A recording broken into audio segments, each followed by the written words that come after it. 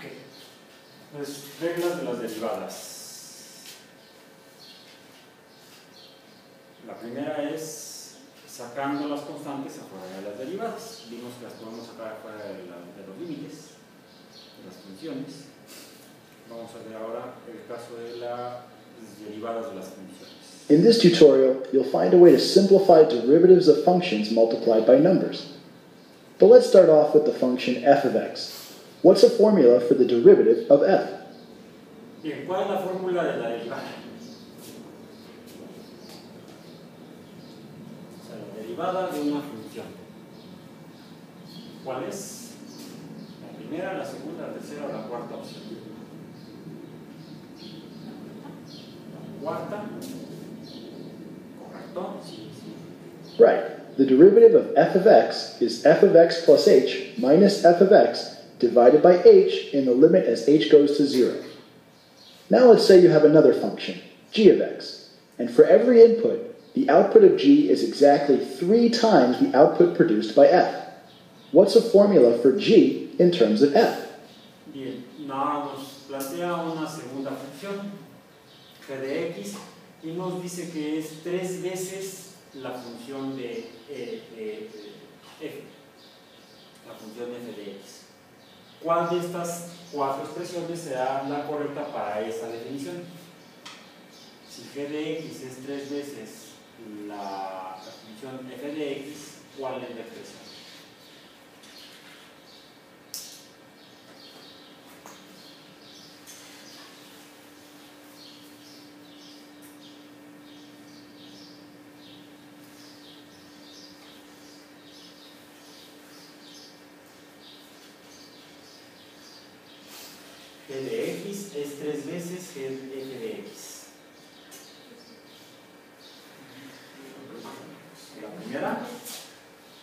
Es fácil confundirse. Si no es la primera, entonces es cuál? La tercera. Tres veces f de x. O sea, tres por f de x. Right. Ah. g is always 3 times f, so we can write that g of x equals 3 times f of x. You found a formula for the derivative of f. Now, what's a formula for the derivative of g? Ahora, ¿cuál, eh, si eso es cierto, ¿cuál será la fórmula para la derivada de g de x? La segunda. ¿Correcto? Okay, let's see how you got that. Here's the formula you found for the derivative of f. We can find the derivative of the function g by replacing these f's here with g's. And since we said g of x is the same thing as 3 times f of x, we can replace these g's with 3f. So if the function g equals 3 times the function f, then the derivative of g is the limit as h goes to 0 of 3f of x plus h minus 3f of x over h. Now, what's an equivalent way to write this derivative of g? Ahora, ¿de qué otra forma podríamos expresar esta definición para la derivada de x? ¿Cuál de estas cuatro opciones será equivalente a esta?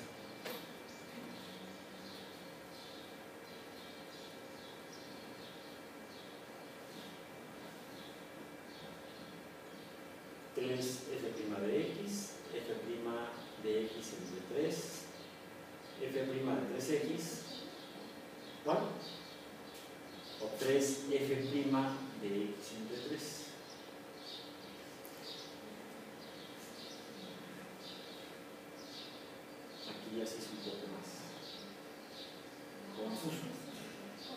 ¿Cuál? La primera. Correcto, vamos a ver. Well, we can factor a 3 out of each term in the numerator. They both have a 3 in them. So this is now the limit as h goes to 0 of 3 times f of x plus h minus f of x, all divided by h. And we factored a 3 out of the entire numerator. Now, the limit of a constant times some function is just a constant times the limit of that function. So we can pull the 3 out front.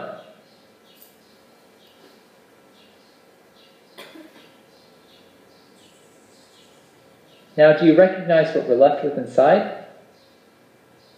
Entonces sería 3 por todo esto y es la definición de la derivada. Exactly. Let's quickly see how you got that. First, you can factor out a 3 in this numerator here so that it becomes 3 times f of x plus h minus f of x. This is the limit as h goes to 0. And the number 3 here that we're multiplying in the numerator doesn't change at all as h goes to 0. So we can pull it outside the limit without changing the value of this expression. And now, if you look at this limit here, you can see that it's the definition of the derivative for f of x. So this is f prime of x. So when g of x equals 3 times f of x, the derivative of g equals 3 times the derivative of f. Let's come up with a general rule for finding the derivatives of functions multiplied by constant numbers. Suppose you have a function f again, and now we're multiplying it by a.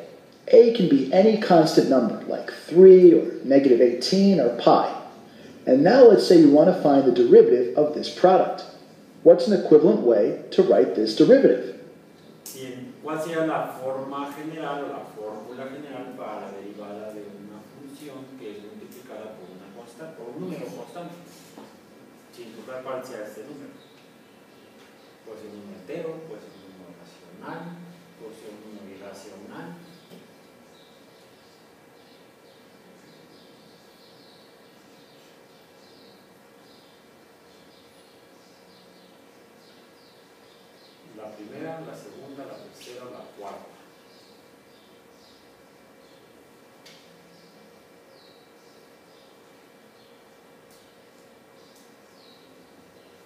Más que para hacer dos bolas nos cambió la forma de escribir la función. La derivada, perdón. No, la derivada de la función. En lugar de ponerla como prima, nos la puso como d en dx. Pero lo mismo. ¿Cuál será entonces?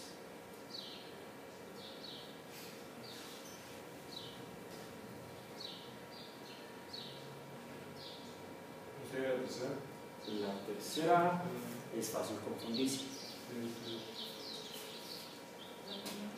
Entonces sería la, la más parecida a esta, sería esta. Ahora tenemos a la constante afuera de la definición.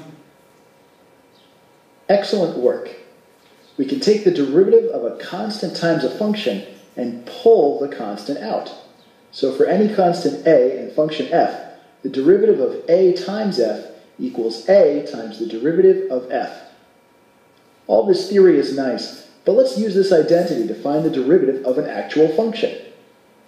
Let's look at the function 17 times the sine of x. What's the derivative of this function?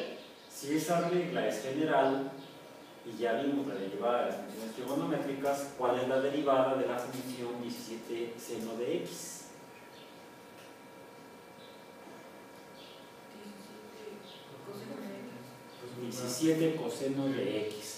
La derivada, de, o sea, sacamos la constante, la de nos queda 17 por d de seno de x en dx, y entonces la derivada del seno de x es el coseno multiplicado por 17. Excelente. Excelente. Vayamos a lo que sigue. La regla de la adición para las derivadas, o la suma de las derivadas. Here, you'll learn a way to find derivatives of functions that are added together. Let's start off with the function f of x. Here's a way to write down the derivative of f. Do you remember the formula that you can use to find this derivative?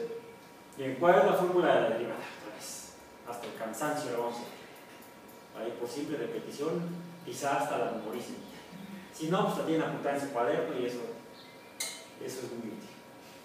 No hay, por, no hay por qué usar la memoria somática, podemos usar la memoria extrasomática. O sea, el cuaderno. ¿Cuál? La segunda, correcto. Right. The derivative of f of x is f of x plus h minus f of x divided by h in the limit as h goes to 0. Now let's say you have another function, g of x. And let's suppose we're interested in the sum of these two functions, or f of x plus g of x. Let's find the derivative of this sum. What's the missing numerator over here in this expression for the derivative? ¿Cuál sería el numerador en esa expresión? Para la derivada de la suma de las funciones f de x más g de x.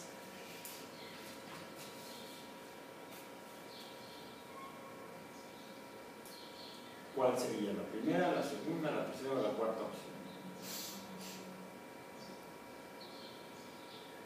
¿Recuerdan las eh, reglas que vimos para la suma, el límite de la suma de funciones?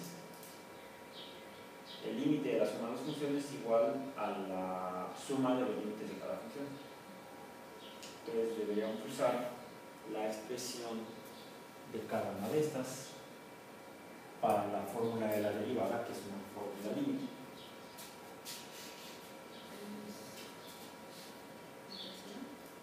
Tercera. Correcto. Exactly. Let's quickly see how you got that.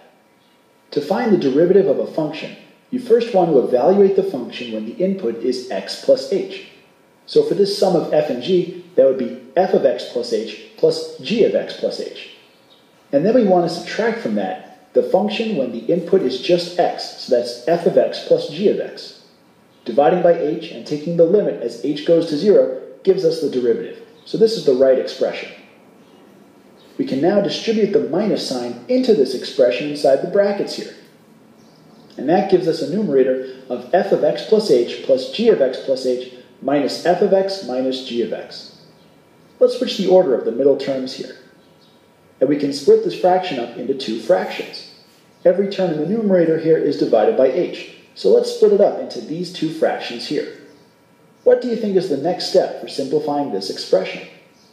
Bien, ya obtuvimos un chorizo de, de, de fórmula. Eh, ¿Cuál sería el siguiente paso para simplificar ahora este chorizo? Si les digo yo, este, este tipo de ecuaciones de fórmula, aquí está un, un, una, una, bola de embutido, aquí está la marca, aquí está otra bola de embutido, y luego sigue la marca, por eso tendríamos chorizos. Entonces, ¿qué hacemos para simplificar ese embutido que no sea preparar unos huevos con chorizo?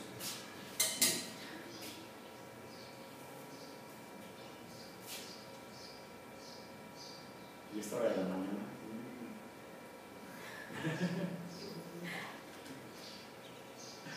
Indigestémonos con matemáticas.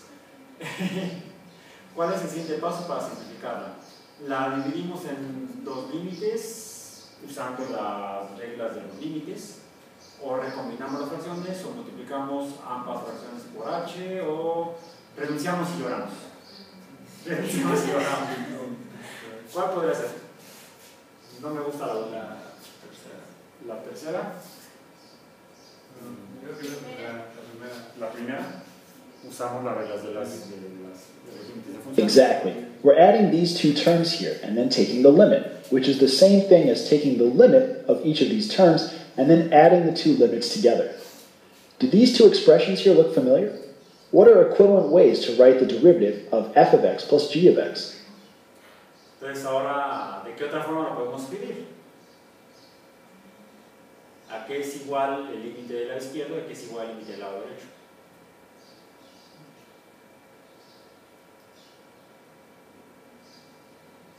¿Cuál, ¿Cuál de estas o cuáles de estas o ninguna de esas nos puede servir para sustituirlo por estas dos expresiones, por las dos expresiones completas? Podemos decir, bueno, esto es igual a qué?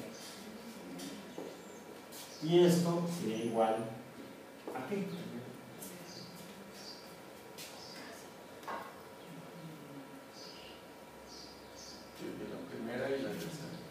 Primera, la derivada de f de x en dx más la derivada de de x en dx. Y la tercera, f' de x más g de x. Correctísimo. Right. This first expression, the limit of f of x plus h minus f of x over h as h goes to 0, is the same thing as the derivative of f of x. And similarly, this limit over here means the same thing as the derivative of the function g. It turns out that the derivative of the sum equals the sum of the derivatives. Okay, next question. What happens if we turn this plus sign into a minus sign? What's the derivative of f of x minus g of x?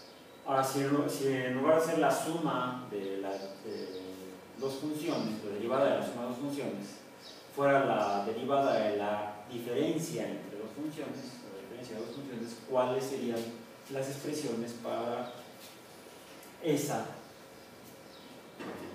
diferencia, esa derivada? La segunda, la derivada de f de x en dx menos la derivada de f de x en dx. Y la cuarta dices, f de f' de x menos g' de x. Correcto. Nicely done. Yes, the derivative of f of x minus g of x equals the derivative of f of x minus the derivative of g of x. Sometimes you'll see these two rules combined using a plus or minus sign, shown here in blue. Okay, for the last question, we'll put this identity to work. Here's a polynomial, 5x cubed minus x squared plus 6x minus 14. What's the derivative of this polynomial? Bien, ahora tenemos, para poner en práctica eso y ver si realmente lo entendimos, eh, un ejemplo. La derivada de un polinomio en función de x. ¿Cuál de estas sería la derivada de este polinomio? Recordemos las reglas de las derivadas. Y la regla que acabamos de ver ahorita, cómo la podemos aplicar aquí.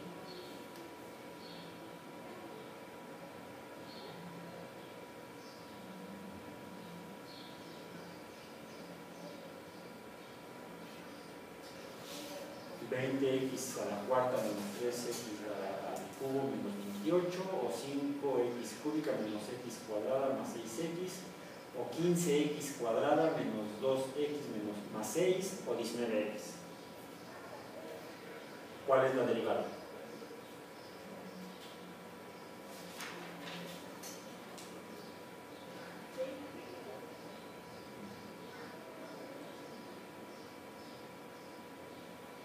¿Qué nos dice la regla?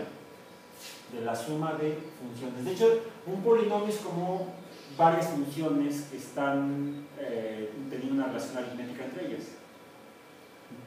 Por ejemplo, esta sería una función 5x cúbica, esta sería otra función menos x cuadrada, esta sería otra función, esta de aquí, 6x, y esta sería otra función, 14 por x a la 0. 14x a la 0. Entonces, ¿qué? ¿Podríamos aplicar esta regla?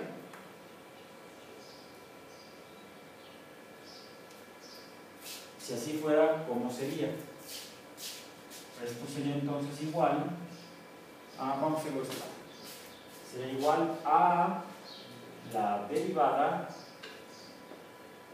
en función de x de 5x cúbica más, no, menos la derivada en función de x de x cuadrada más la derivada en función de x de 6x más la derivada en función de x de 14. Y ahora podemos aplicar, eh, eh, calcular o obtener la derivada de cada función por separado. ¿Cuál es la derivada de 5x cúbica? 5x cuadrada. Sacamos acá, eh, sería entonces, eh, ah, no, 5 por 3, 15, ¿no? Sería 15 y 3 menos 1, X cuadrada. menos 2x Sí, más 16 más 0. sí, ¿Y eso dónde está ahí? ¿Cuál es? La tercera. Bien. Lo hicimos muy bien. Vayamos a lo que sigue. Y lo que sigue es primero borrar de este lado del pizarrón.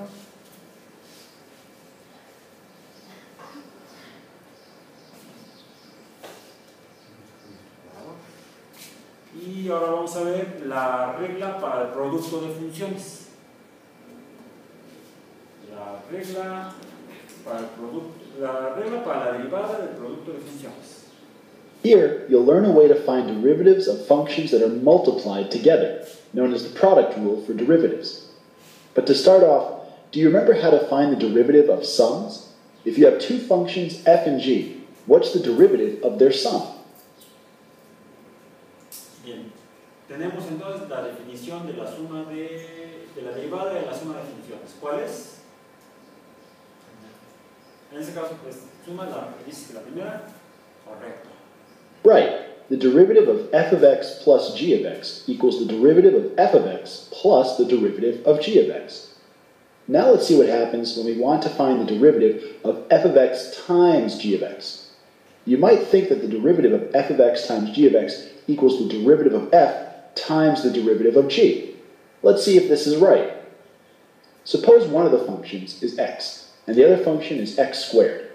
If you take the derivative of x times x squared, is that equal to the derivative of x times the derivative of x squared? Bien, tenemos entonces la definición de la fórmula para la derivada de la suma de funciones. Ahora tenemos la derivada del producto de funciones, f de x por g de x. La pregunta es si, las si la derivada de la suma de funciones es esta, es decir, la suma de la derivada de cada función, eh, sería posible que la derivada del producto de dos funciones fuera igual al producto de la derivada de cada función. Y nos pone como ejemplo la derivada de x por x, al x cuadrada sería igual entonces a la derivada de x por la derivada de x cuadrada. ¿Eso es cierto o eso es falso? ¿Ustedes qué creen? Vayamos ahorita a las creencias. ¿Ustedes qué suponen? Ya es un poco menos incierto o fantasioso que una creencia, una suposición. Y una suposición que podríamos tal vez mm, probando esta regla con esta. ¿Cuál será la derivada de x y cuál será la derivada de x cuadrada? Y si las multiplicamos, ¿cuál es el resultado? Por otro lado, si tengo x por x cuadrada, ¿eso cuánto es?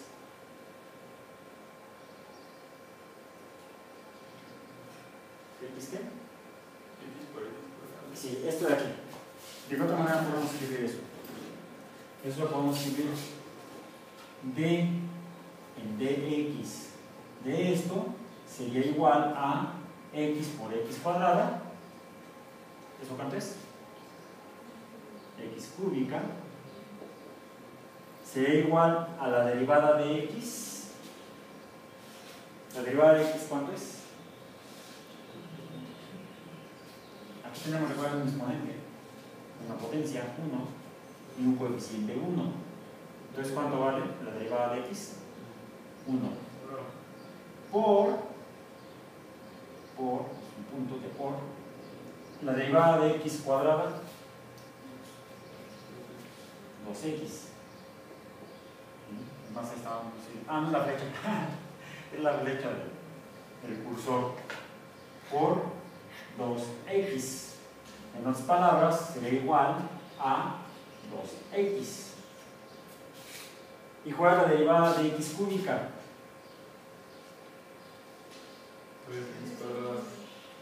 Tres X cuadrada. 3x cuadrada no es igual a 2x. Entonces es falso. Iba a ser aquí. No, hay que hacerlo acá. Pero antes voy a borrar. O sea, podemos creer, podemos suponer o podemos desarrollar para poder obtener una respuesta objetiva. Right, the two sides here are not equal. In general, the derivative of a product does not equal the product of the two derivatives. Okay, so we know that this derivative doesn't equal the derivative of f times the derivative of g. But what is this derivative equal to? Let's find out. Let's use the definition of the derivative, which involves a limit as h goes to 0. For this derivative, what should the numerator be for this limit? Bien. Ahora se trata de encontrar, buscar para encontrar la fórmula de la derivada del producto de dos funciones. Usando la definición de derivada, ¿cuál sería el,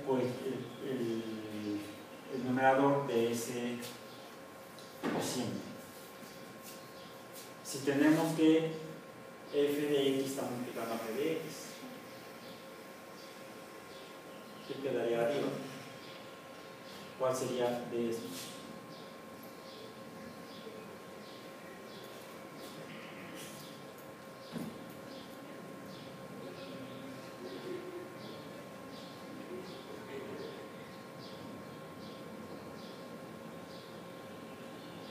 F de x más h por f de x más h más f de x por g de h o f de x más h por g de x más h menos f de x por g de x o f de x más h por g de x más h menos f de x menos g de x o f de x más h menos g de x más h por g, f de x menos g de x.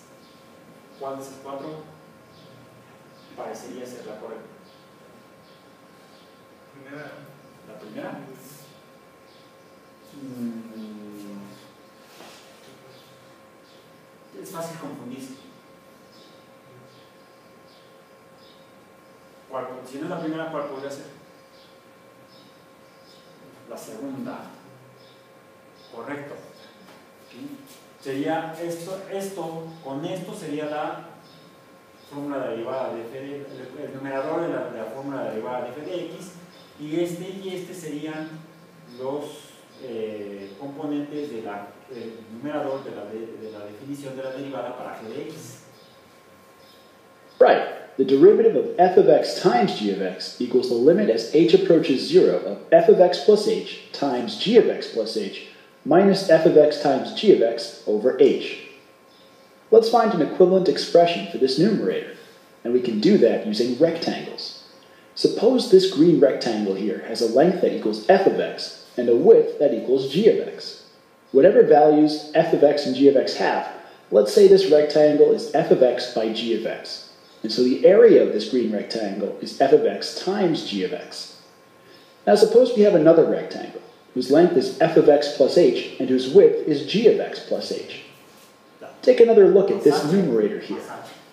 If we break up this diagram into three regions and we say the area of the green region is A, the area of the blue region is B, and the area of the yellow region is C, which regions have areas that add up to the numerator up here? Bien, una forma de tratar de definir esto es tratando de visualizarlo. Y una función real en la que podemos tener que el resultado es el producto de dos valores sería, por ejemplo, el área de un rectángulo, cuya fórmula es lado por lado. El lado, este lado largo sería este número, f de x, y este lado corto sería este número, g de x. Por lo tanto, el área es f de x por g de x, o sea, este pedacito de aquí. Le estamos sumando h a f de x y h a g de x, y h pues vale esto. Entonces sería f de x más h y g de x más el mismo intervalo, h. Este de acá. Bien. Para cuál de las siguientes expresiones, el área A, el área B, el área C, es correcta para la diferencia en el área entre el rectángulo grande y el rectángulo A, el rectángulo pequeño. El área A, el área B, el área B más la C, la diferencia entre las dos áreas. O el área A más el área B más el área C.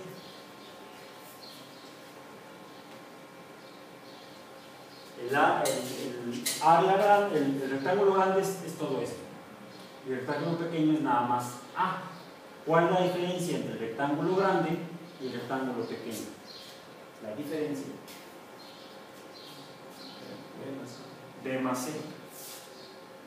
Ya. La diferencia es que la adición de esta área, este rectángulo pequeño B, y le adicioné este rectángulo pequeño C al, al rectángulo A para obtener el rectángulo completo A más B más C. Este el rectángulo grande. Si le quito A, me quedan B más. Exactly. Combining the areas of regions B and C gives you this expression up here. In other words, the area of this yellow region here equals the numerator up here. What's another expression for the area of this yellow region? Bien, ahora, ¿cuál sería la expresión para el área amarilla? Que corresponde a lo que era B más C.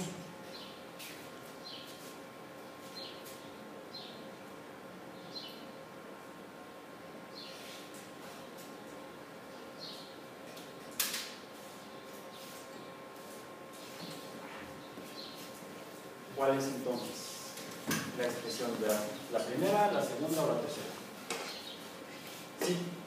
Son otros chorizos, pero ¿cuál de esos chorizos es equivalente a esto choricito de aquí?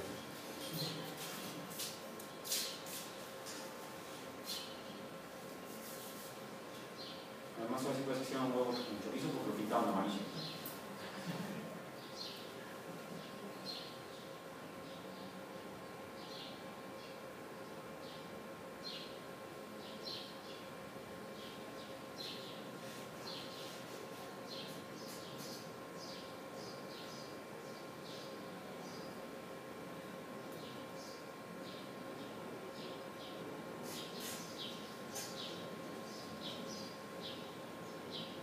¿Qué región dijo? ¿Cuál? ¿Qué región dijo? La región amarilla. La. ¿Cuál es la expresión? ¿La primera? No. Nos quedan dos.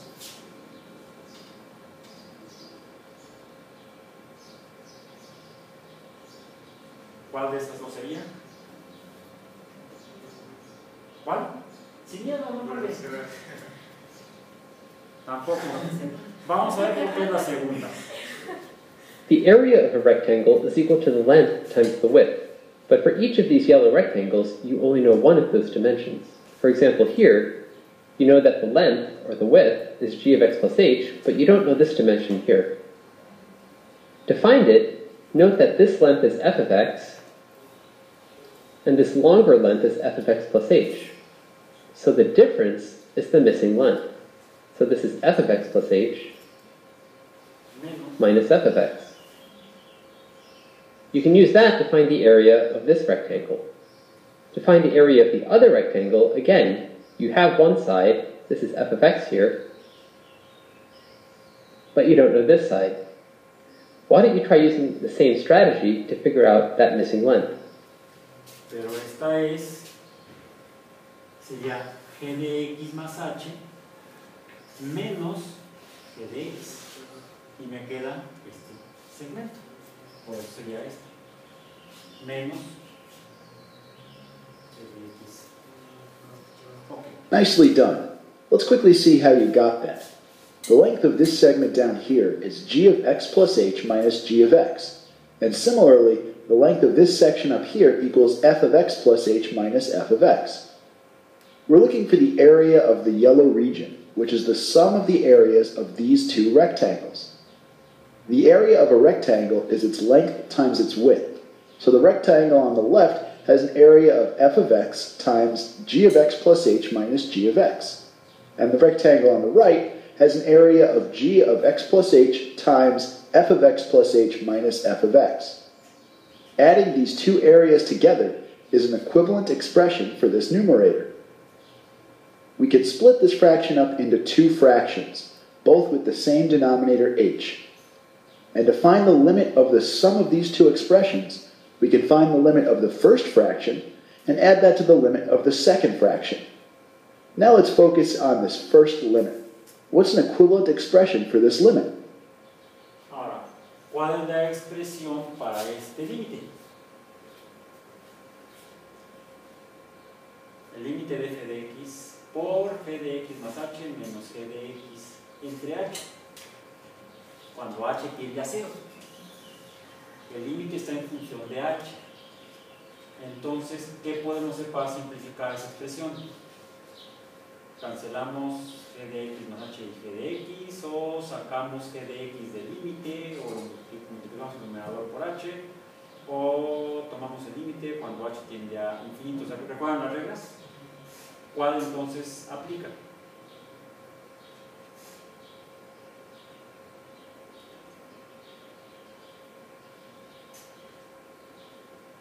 El límite depende de h.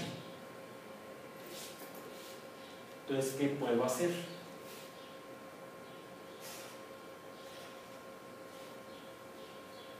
Mm, La tercera. La tercera, mm, creo que no. Fíjate.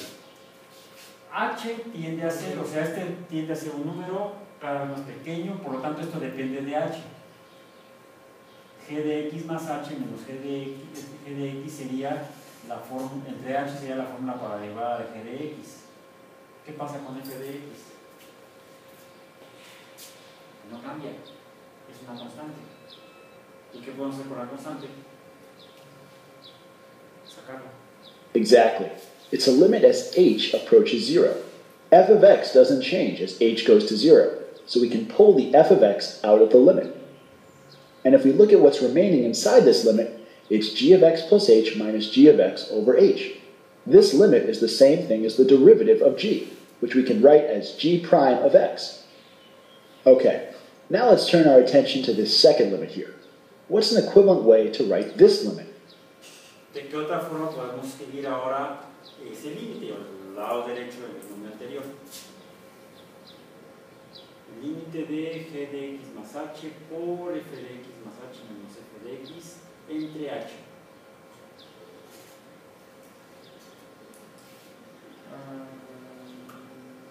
La primera. ¿Cuál?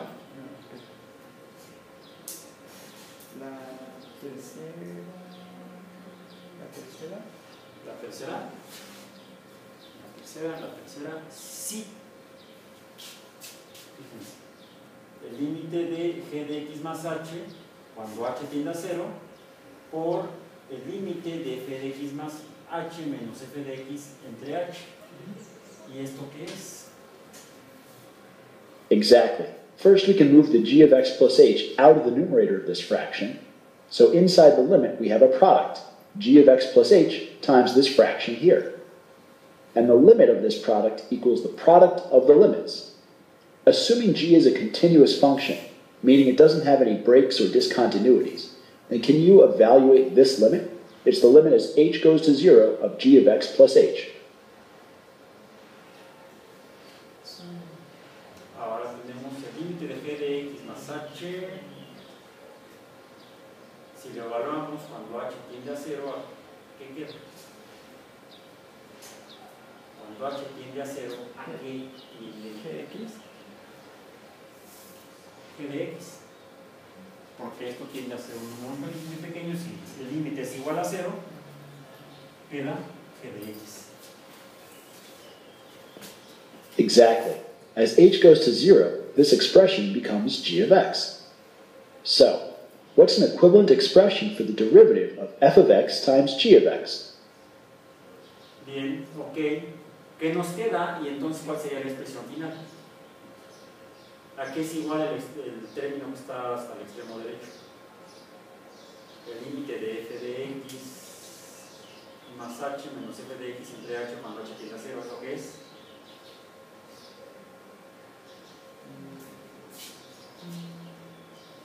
O sea, ¿esto qué es? Vale. Es la definición de.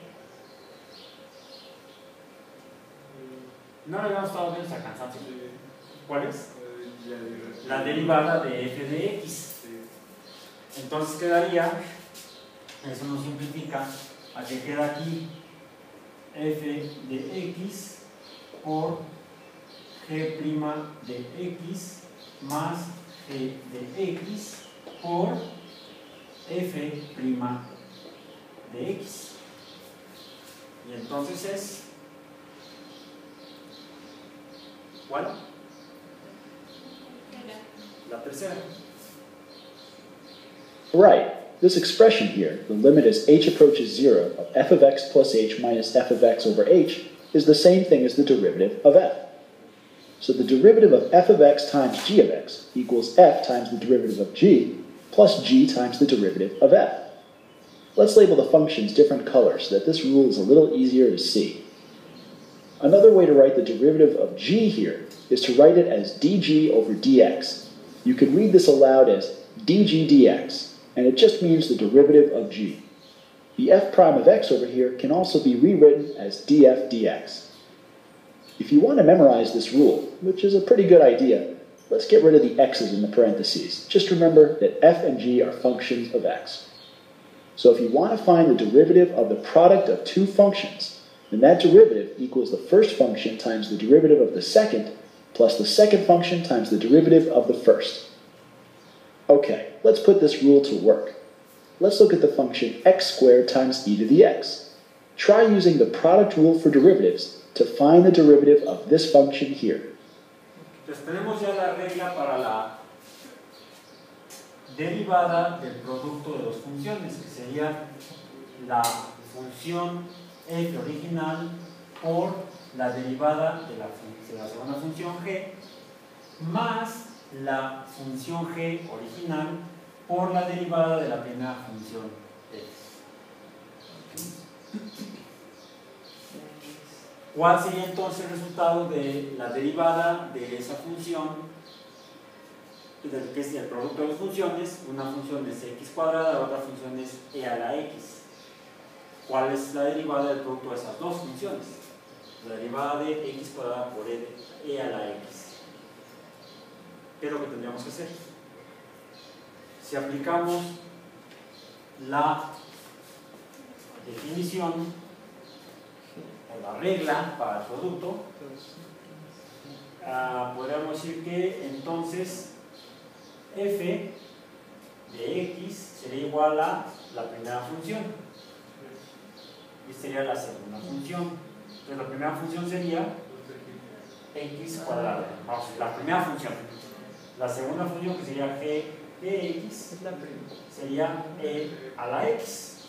Por lo tanto, entonces aquí tenemos la función, la primera, la primera función original, x cuadrado, por la derivada de la segunda función, ¿cuál es la derivada de a la x? X, eh, X por. Acuérdense que traemos la gráfica.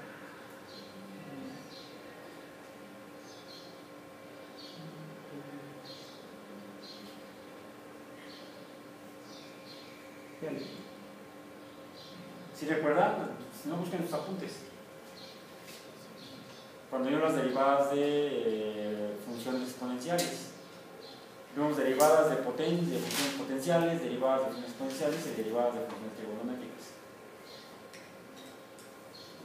La derivada de e a la x era e a la x. Eh, vemos que es una de las funciones cuya derivada es igual a la función original. Más la función original g, la segunda es e a la x, por la derivada de la primera función, x cuadrada, por 2x. Bien.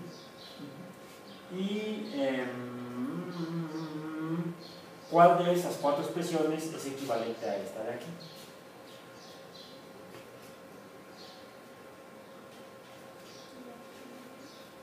¿Cuál?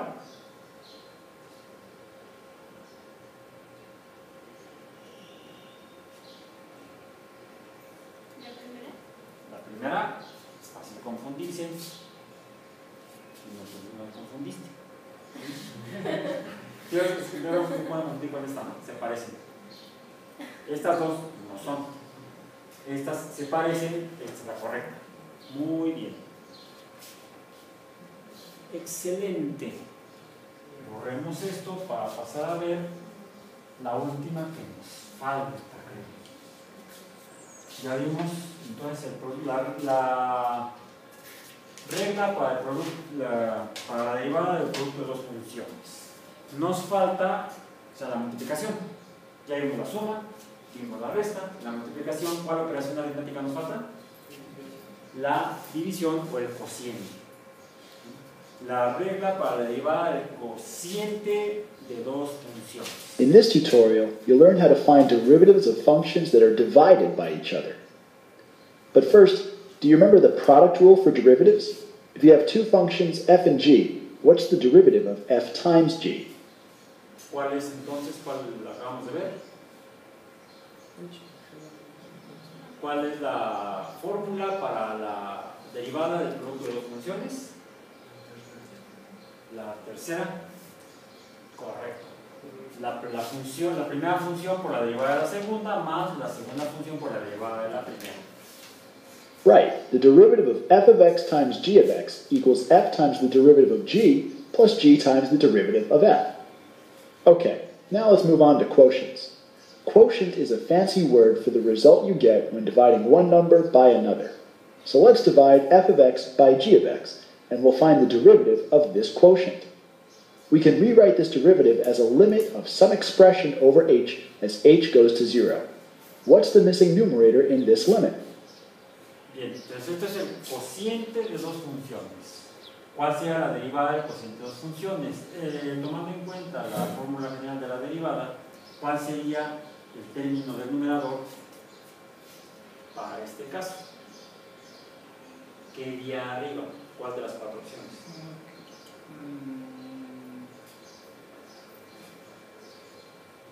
La primera, la segunda, la tercera o la cuarta. Aunque hay dos que no parecen. Y otras dos que podrían parecer.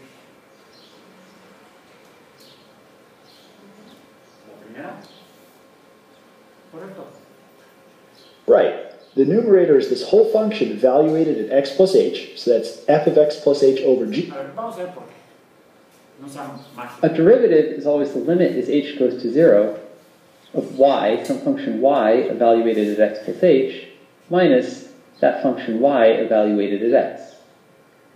Here, that function is a quotient. It's f over g. So y of x here, the thing we're taking a derivative is f of x divided by g of x. That means that y of x plus h is just f of x plus h divided by g of x plus h. If you plug that in to that limit down there, what do you get? Ok. Right.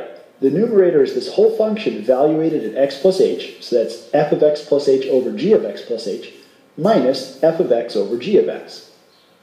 Next, what's an equivalent expression for this numerator that you just found?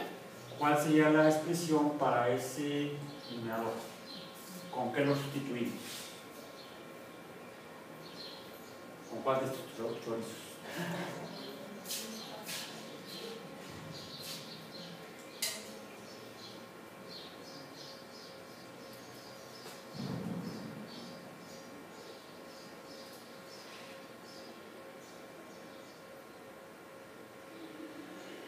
Tenemos estos dos cocientes. Una operación fundamental sería obtener el denominador común. Entonces eso nos deja por fuera dos de esas expresiones.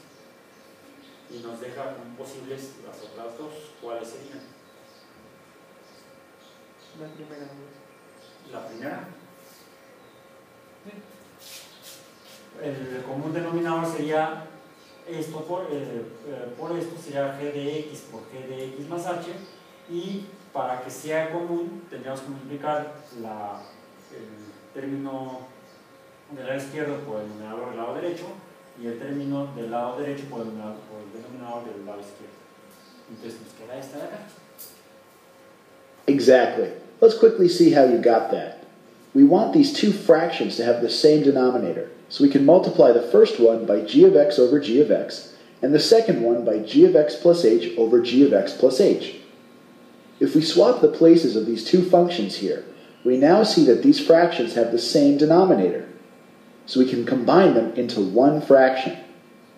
This expression is now the difference up here divided by g of x times g of x plus h, then divided again by h. So we can move the g of x times g of x plus h into the denominator down here. Now let's turn this into two limits by pulling out the g of x times g of x plus h in the denominator and making it a separate limit as h goes to 0. We can do this because of the limit rules for multiplication. Now, assuming g is continuous, can you evaluate this highlighted limit on the left? Bien, esto lo pudimos hacer por la definición del producto de límites.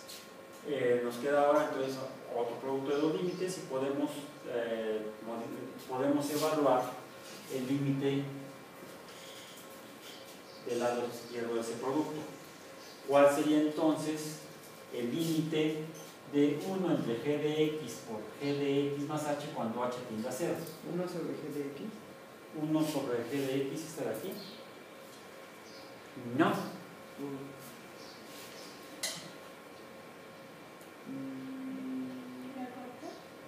Cuarta. Vamos a ver por qué. If g is a continuous function, that means the limit as h goes to 0 of g of x plus h is just g of x. As the input gets closer and closer to x, the output is going to get closer and closer to g of x. That's what a continuous function is. Why don't you try using that limit along with limit rules to evaluate this limit here? Ok. Right. If g is continuous, then you can plug in 0 for h, and this limit equals 1 over g of x squared. Let's move this term up here for now, and turn our attention to the remaining limit over here. Let's make some space here, and what we'll do is subtract and add f of x times g of x. Because we subtracted and added the same thing here, we're not changing the overall value of this expression. Notice that the first two terms here have a g of x in them. Let's factor it out. So we have g of x times f of x plus h minus f of x. And notice that these two terms on the right here have an f of x in them. Next, try factoring out the f of x.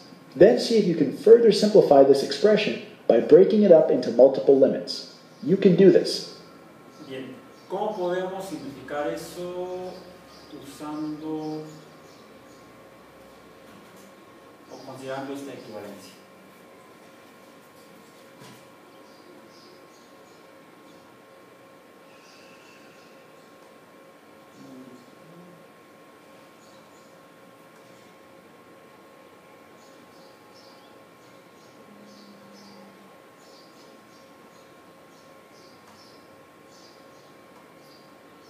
Vez hay dos que se ven raras y nos deja dos como posibles.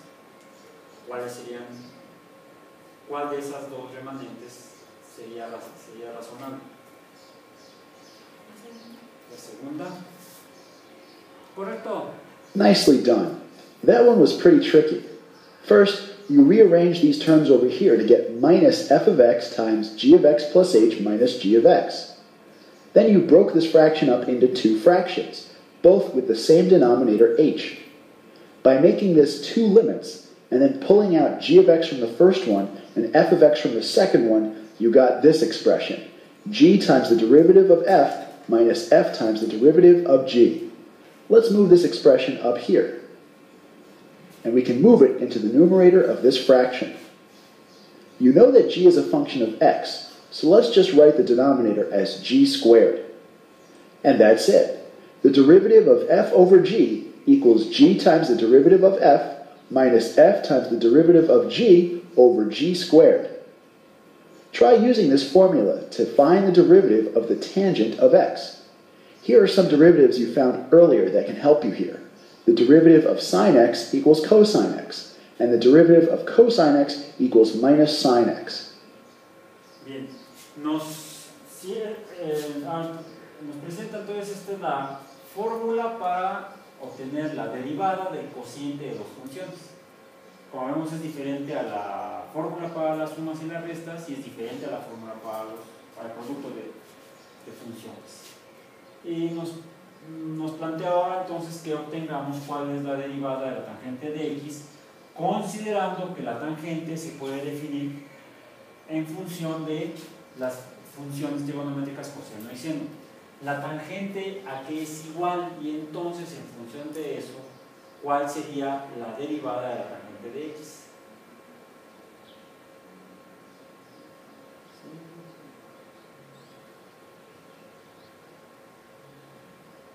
Revisen en, su, en su cuaderno cuál es la, definición de la tangente de x en función del seno y el coseno. Hay dos posibilidades. O es el cociente y el coseno entre el seno, entre el menos seno, o de el menos seno entre el coseno. entre el seno y el coseno, o entre. O, Seno entre coseno, ¿no? seno entre coseno. Entonces quedaría, entonces, quedaría la derivada. así. Dices y verifiquen que la tangente de x es igual al seno de x entre el coseno de x. Entonces tenemos una función, eh, el cociente de una función y ah, tendríamos entonces que aplicar la derivada de en función de x del seno de x por un lado y la derivada en función de x del coseno de x. La derivada del seno de x, ¿cuál es? Está, el coseno. Y la derivada del coseno de x es el seno, el menos seno de x. Esto no tiene caso que lo escribamos porque ya está escrito allá arriba. La fórmula, la fórmula dice que es entonces, esta sería eh, f de x entre g de x. La función g sería entonces, Ah, es la primera. Seno cuadrado de x. bueno, a la primera, ¿ya, ya la resolviste? Creo que sí. No, no es. Vamos entonces, en lo que piensas, o vuelves a calcular, a estimar, a evaluar, g es coseno de x, ¿no? Por la derivada de f de x, la derivada de el seno de x, la derivada del seno de x es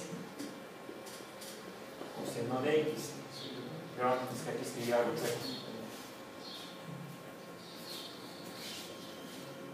por coseno de x menos f. f es el seno de x por la derivada de, de la segunda función que sería g de x por coseno de x. Todo entre g cuadrada de x. No, cuadrada. g cuadrada. No sé dónde saqué la x. ¿Qué es coseno cuadrado? Eh, sería el coseno cuadrado. No. Sí, coseno cuadrado de x bien y ahora qué hacemos con eso coseno de x por coseno de x es igual a Pero.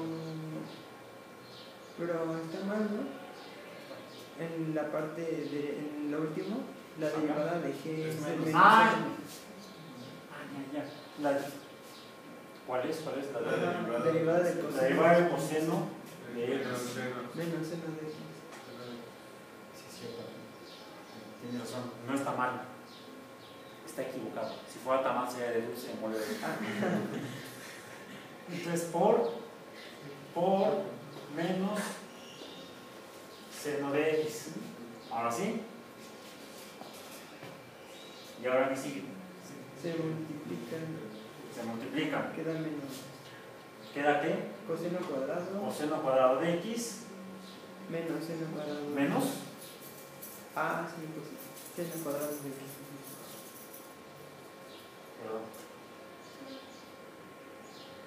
Menos seno por menos seno me da más seno.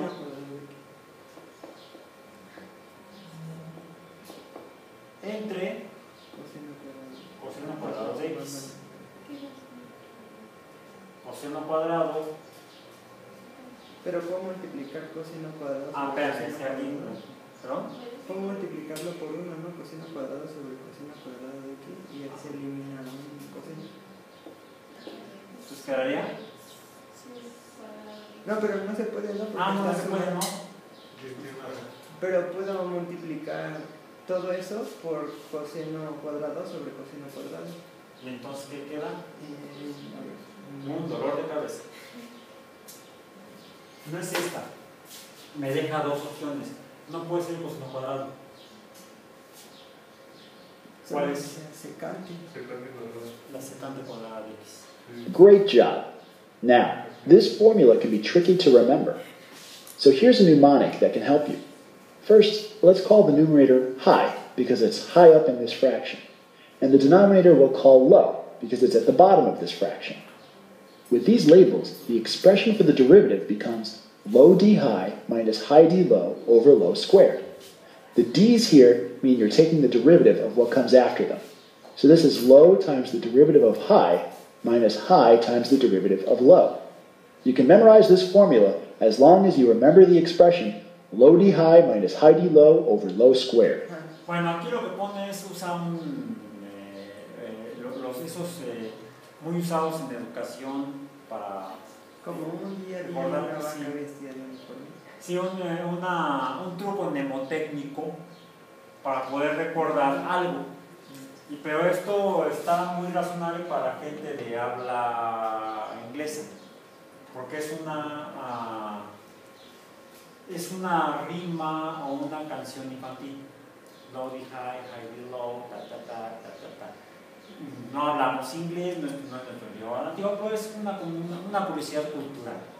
Para recordar que la derivada del cociente de dos funciones es igual al término de abajo, eh, la función de abajo, el término de abajo, por la derivada del término de arriba, menos la de- el término de arriba por la derivada del término de abajo entre el de abajo al cuadrado. Y con eso terminamos esta parte y de hecho las reglas... Ah, no, nos falta esta. La derivada de, de potencias negativas. Pensé que habíamos terminado, no, nos falta esta. La derivada de potencias negativas. Here we'll find the derivatives of negative powers two different ways. So suppose you want to find the derivative of a negative power, like x to the minus fourth. Here we'll find out how to do that. But first, what's an equivalent way of writing x to the minus fourth? Ok, tenemos como un ejemplo la derivada en función de x de x a la menos 4, a la menos cuarta potencia. Eh, ¿Cuál de las siguientes expresiones sería equivalente? La segunda. Ok, Right, x to the minus fourth is the same thing as 1 over x to the fourth. Looking at this expression here, it seems to be the derivative of the function y equals 1 over another function, x to the fourth. So we should be able to use the quotient rule to find the derivative of this expression. Do you remember the quotient rule for derivatives? If you have two functions, f and g, what's an equivalent expression for the derivative of f over g?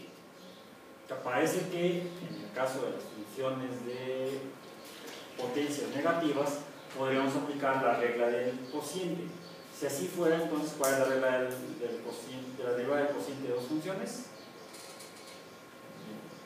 ¿Recuerdan high y low, low y high?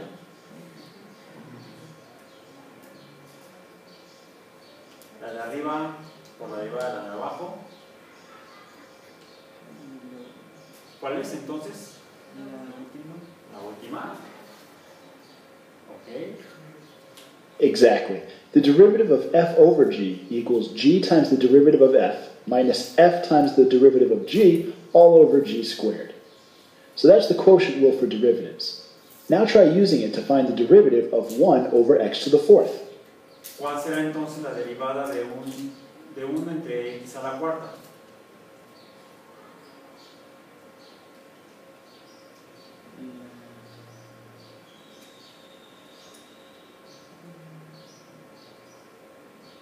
La tercera.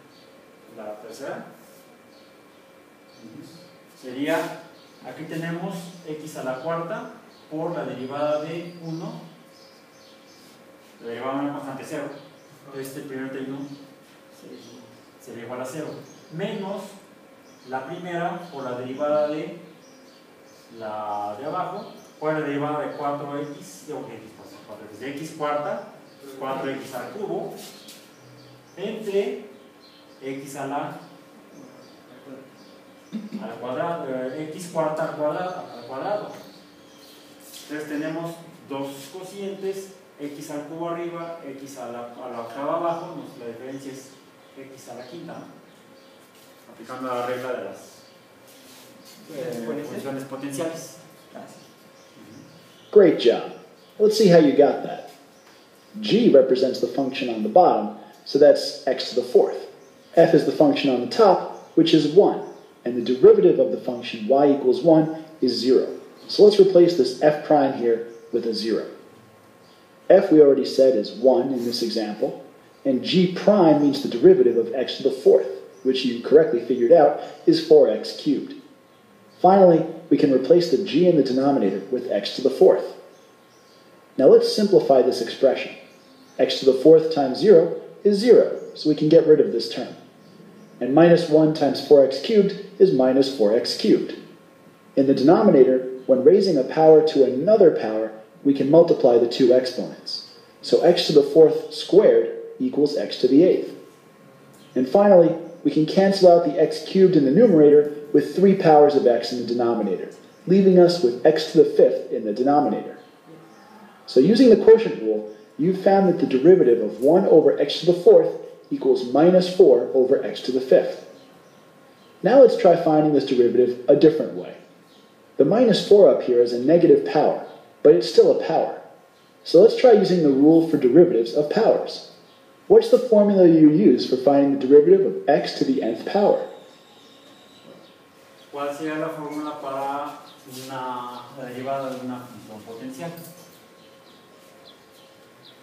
¿Cuál de cuatro es? Ya la hemos visto. la estoy La usando. primera. La primera. Ok. Right. The derivative of x to the n is n times x to the n minus 1. We've previously shown that this rule works for positive whole numbers. But what about for negative powers, like x to the minus 4? Well, try applying this rule up here to find the derivative of x to the minus 4. ¿Cuál sería entonces la derivada de x a la, cua- a la menos 4 4x. si es válida la regla? La primera. La primera.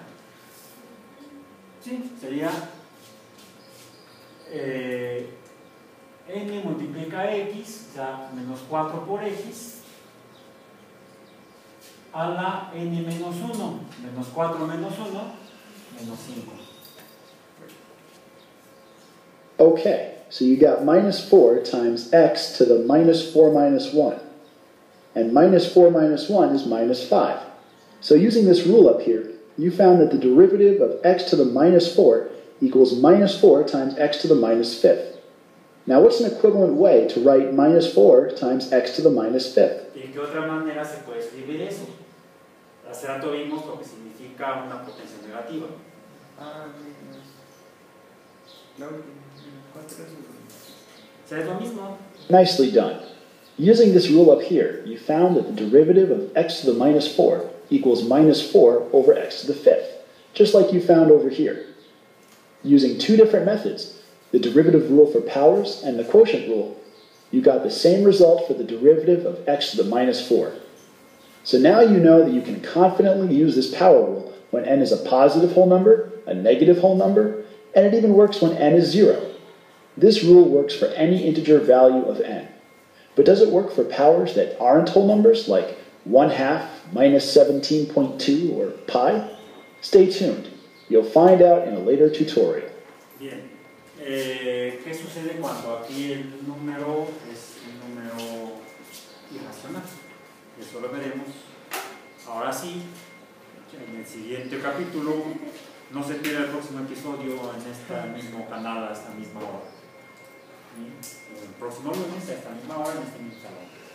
Y ahora sí, por hoy fue todo, porque la próxima clase veremos la regla de la cadena. Nos encadenamos a este canal la próxima semana.